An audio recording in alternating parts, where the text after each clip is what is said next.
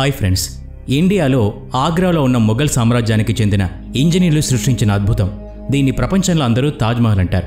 నలభై రెండు ఎకరాల విస్తీర్ణంలో గల ఈ కట్టడం దూరం నుంచి చూస్తే కూడా మెరుస్తూ ఉంటుంది. లోపల మాత్రం ఎన్నో అద్భుతాల్ని తనలో ఉంచుకుంది. పైన మేఘాలు చూస్తే ఎంతో ఉదాసీనంగా ఉంటాయి. నాలుగు వందల సంవత్సరాల క్రితం కట్టిన ఈ పెద్ద కట్టడం ఒక అద్భుతం. ఇప్పుడు దాన్ని ప్రపంచంలోనే ఏడవ అద్భుతంగా పిలుస్తారు. దీన్ని కట్టడానికి ఇరవై వేల మందికి పైగా శ్రామికులు పనిచేశారు. పగలు రాత్రి దాదాపు ఇరవై రెండు సంవత్సరాల పాటు శ్రామికులు తమ చెమటని తమ రక్తాన్ని ధారపోశారు ఈ కట్టడం కట్టడానికి. ఒకవేళ ఇప్పుడు దానికి వెల కడితే ఒక బిలియన్ డాలర్లుగా ఉంటుంది. అంటే డెబ్బై ఐదు వేల కోట్లకు పైగా ఉంటుంది. ఎందుకంటే ఈ కట్టడంలో గల నైపుణ్యాలు ఆ రోజుల్లో మొఘల్ ఇంజనీర్లు సృష్టించిన ఆ అద్భుతాన్ని ఈ రోజు కూడా ఇంజనీర్లు పొగొడుతూ ఉంటారు.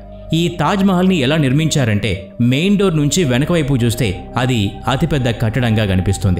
మెయిన్ డోర్ నుంచి ఎప్పుడైతే దాని దగ్గరికి వెళుతూ ఉంటామో దాని పరిమాణం చిన్నదిగా కనిపిస్తుంది. తాజ్మహల్కి నాలుగు వైపులా ఉన్న స్తంభాలు బయట వైపు కొంచెం వంగి ఉంటాయి. బయట నుంచి చూస్తే ఇవి లోపల వైపు వంగినట్టు కనిపిస్తాయి.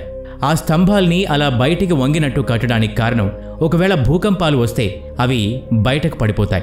దాంతో తాజ్మహల్కి ఎలాంటి ప్రమాదం ఉండకూడదని ఎట్టి పరిస్థితుల్లో కూడా తాజ్మహల్కి చిన్న మచ్చ కూడా ఉండకూడదని అప్పుడు కట్టినవారు భావించారు. స్టీల్ కాంక్రీట్ లేని రోజుల్లో ఈ అద్భుతాన్ని అలాగే పైన ఉన్న నలభై మీటర్ల డోమ్ని ఎలా నిర్మించారు? ఇవన్నీ కూడా ఈ వీడియోలో తెలుసుకునే ప్రయత్నం చేద్దాం. అందుకని ఈ వీడియోని ఎక్కడా స్కిప్ చేయకుండా పూర్తిగా చూడండి. మరింకెందుకు ఆలస్యం? Let start our today's episode. ఆ ఆలోచన పదహారు వందల ఏడులో అంటే మొఘళ్ళు పాలిస్తున్న కాలంలో సంయుక్తంగా ఉన్న ఇండియా పాకిస్తాన్లో మొదలైంది. మొఘల్ రాజవంశంలో అందరికన్నా చిన్నవాడైన కొడుకు షాబుద్దీన్ మహమ్మద్ ఖురం పదిహేను సంవత్సరాల వయసు రాగానే ఆగ్రాలోని ఒక రాజప్రసాదంలో బ్రహ్మాండమైన విందు ఏర్పాటు చేశారు. ఈ కొడుకంటే రాజుకి ఎంతో ఇష్టం. అందుకే ప్రతి సంవత్సరం కొడుకు పుట్టినరోజుకి వజ్ర వైఢూర్యాలు బహుమతిగా అందజేసేవాడు. అది ఎలా అంటే కొడుకు ఎంత బరువుంటే అంత బంగారాన్ని అతనికి అందజేసేవారు. కానీ ఈ జన్మదినం సందర్భంగా ఈసారి ఏదన్నా విశిష్టమైంది ఇద్దామనుకున్నాడు. విషయం ఏంటంటే తనకిష్టమైన కొడుకుని తన స్నేహితుడి కూతురు ముంతాజ్కిచ్చి పెళ్ళి చేశాడు. వారిద్దరూ మొదటి చూపులోనే ఒకరంటే ఒకరికి ఇష్టం ఏర్పడింది.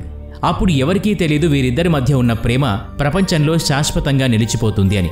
ఇంకో పది సంవత్సరాలు ఎన్నో యుద్ధాలు చేసి విజయాలు సాధించాడు. ఈ విజయాలను చూసి పొంగిపోయి తండ్రి కొడుకి ఒక బిరుదిస్తాడు. దాని పేరే షాజహాన్. దాని అర్థం ఏంటంటే ప్రపంచానికి రాజు అని. షాజహాన్కి ఆరుగురు భార్యలు ఉండేవారు వారందరూ ఒక రాజప్రాసాదంలో ఉండేవారు. వారందరిలోకి ఎక్కువగా ముంతాజ్నే ప్రేమించేవాడు. అందుకే తన ఎక్కువ సమయాన్ని ముంతాజ్తోనే గడిపేవాడు. కాలం చాలా వేగంగా వెళ్ళిపోతూ ఉంది. నాలుగు సంవత్సరాల తర్వాత అంటే పదహారు వందల ఇరవై ఒకటిలో షాజహాన్ తండ్రి చనిపోతాడు. అప్పటికే రాజ్యంలో తండ్రికి తగ్గ తనయుడిగా పేరు తెచ్చుకున్న షాజహాన్ తండ్రి చనిపోయిన ఏడు సంవత్సరాల తర్వాత మహారాజుగా బాధ్యతలు స్వీకరిస్తాడు. ఇండియా పాకిస్తాన్తో పాటు ఆఫ్ఘనిస్తాన్ ఇంకా కొన్ని ప్రదేశాల్ని కూడా షాజహాన్ పరిపాలించేవాడు. నిర్ణయాలు అన్నీ షాజహాన్ తీసుకునేవాడు. ముంతాజ్ వెనక ఉండి తన సలహాలిచ్చేది. ఈ సంతోషం ఎక్కువ రోజులు ఉండదని ఎవరికీ తెలియదు. షాజహాన్ బాధ్యతలు తీసుకుని సంవత్సరమైంది. ఈ లోపలే శత్రువులు దాడి చేశారు. దాదాపు రెండు సంవత్సరాల పాటు యుద్ధం కొనసాగింది. దానిలోనూ షాజహాన్ పూర్ణ విజయం సాధించాడు. ఈ విజయాన్ని ఆస్వాదించకుండానే షాజహాన్కి ఒక చెడు వార్త వచ్చింది. తన ఇష్ట సఖి అయిన ముంతాజ్ తన పద్నాలుగవ సంతానాన్ని జన్మనిస్తూ ఉండగా ఆమె పరిస్థితి విషమించింది. పదిహేడు జూన్ పదహారు వందల ముప్పై ఒకటిలో ముంతాజ్ చనిపోయింది. ఈ ప్రభావం షాజహాన్ మీద బాగా పడింది. షాజహాన్ జీవితం చీకట్లోకి వెళ్ళిపోయింది. షాజహాన్ ఎనిమిది రోజుల పాటు ఆహారం తీసుకోలేదు. రెండు సంవత్సరాల పాటు అత్తరు కూడా వాడలేదు. ముంతా చనిపోయే ముందు ఆఖరి కోరిక తన స్మారక చిహ్నం ఒక అందమైన ప్రదేశంలో ఉండాలని. భార్య కోరిక తీర్చడానికి మిగిలిన సమయాన్ని తనకున్న ధనాన్ని వినియోగించాలని షాజహాన్ నిర్ణయించుకున్నాడు. పదహారు వందల ముప్పై రెండులో తాజ్మహల్ నిర్మాణానికి పూనుకున్నాడు. షాజహాన్ ఇరవై వేలకు పైగా శ్రామికులు శిల్పుల్ని వివిధ రకాల నైపుణ్యం గలవారిని ఒక దగ్గరికి చేర్చాడు. యమునా నది తీరాన ఈ తాజ్మహల్ నిర్మాణానికి పూనుకున్నాడు. కానీ అక్కడ కట్టడం చాలా కష్టం. నదీ తీరంలో భూమి చాలా మెత్తగా ఉంటుంది. అక్కడ నిర్మాణం చేయడం కష్టసాధ్యం. పునాదులు తీస్తే నదీ తీరంలో ఉన్న నీళ్ళు నిర్మాణానికి నష్టం చేస్తాయేమో అని భయం. దానికి విరుగుడుగా అక్కడి ఇంజనీర్లు భూమి లోపల పెద్ద పెద్ద గుంతలు ఏర్పాటు చేశారు. ఈ సమస్య నుంచి బయటపడ్డానికి ఈ గుంతల్ని రాళ్ళతో నింపేశారు. దాని మీద రాళ్ళతో కూడిన పెద్ద పెద్ద కాలమ్స్ నిర్మించారు. ఈ పని సక్రమంగా చేయడానికి శ్రామికులతో పాటు ఏనుగుల్ని కూడా పెద్ద సంఖ్యలో ఉపయోగించారు. ఇంజనీర్ల ఈ ఐడియా ఫలించింది. మెతగ మట్టి మీద కూడా పునాదులు ఏర్పాటు చేశారు. ఇక దాని తర్వాత మిగిలింది భవన నిర్మాణం. ఇక అది ఎలా ఉండాలంటే ఇంతకుముందు ఎవరూ చూసి ఉండకూడదు.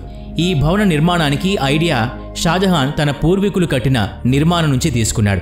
తాత కట్టిన నిర్మాణం నుంచి తండ్రి కట్టిన నిర్మాణం నుంచి తన మామ కట్టిన నిర్మాణం నుంచి ఒక్కొక్క ఐడియా తీసుకున్నాడు.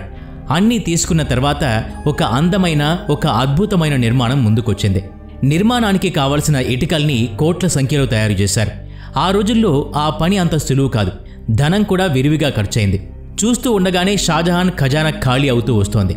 షాజహాన్కు ఇదేమీ పట్టలేదు. ఎట్టి పరిస్థితుల్లో ఇది పూర్తి కావాల్సిందేనని అతని పట్టుదల. నిర్మాణానికి ఎంతమంది శ్రామికుల్ని పెట్టారంటే ఆ చుట్టుపక్కల ఆహార కొరత ఏర్పడింది. చుట్టుపక్కల పండే ఆహారాన్ని మొత్తం షాజహాన్ శ్రామికుల గురించి తెప్పించాడు. ఎట్టకేలకు ఆ భవన నిర్మాణం పూర్తయింది. ఇక మిగిలింది దానికి అందమైన ఆకృతి ఇవ్వటం. ఆగ్రా నుంచి నాలుగు వందల కిలోమీటర్ల దూరంలో ఉన్న రాజస్థాన్లోని మక్రానా మార్బుల్ని తెప్పించారు. ఇది ప్రపంచంలోనే అత్యంత విలువైన పాలరాయి. ఈ మార్బుల్ ఎవరూ కొనకుండా నిషేధం విధించారు.